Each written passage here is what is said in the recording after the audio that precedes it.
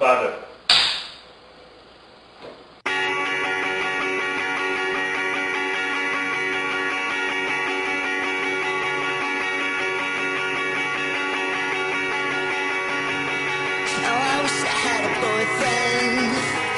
I wish I had a loving man in my life. I wish I had a father.